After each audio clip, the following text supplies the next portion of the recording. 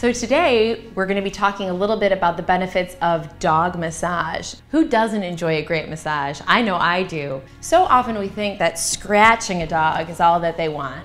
And dogs love to be scratched, but it's actually very beneficial to massage your dog. Not only does it feel good, but it really does help calm their energy. First thing you might want to try is just stroking their ears. It can actually be very calming to a dog to just stroke their ears gently like that.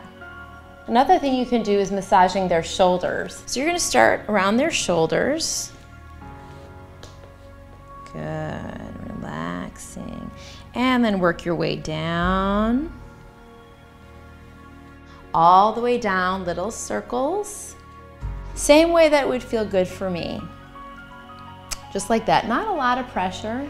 And then a little bit also underneath their legs. Just go ahead and just massage. Dogs have different connective tissue than we do. As you can tell, their skin moves around over their muscles, so you can imagine how good that must feel for them to get that massage. A little bit on the other side. And then you can also do the same thing on their hind legs. And then gentle stroke from their head down to their toe.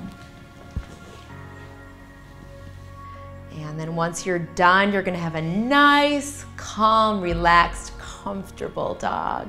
We're looking forward to you joining us for the next set of dog yoga poses. Hi, I'm the host of Ask a Vet. You're watching The Pet Collective Cares. Don't forget to subscribe.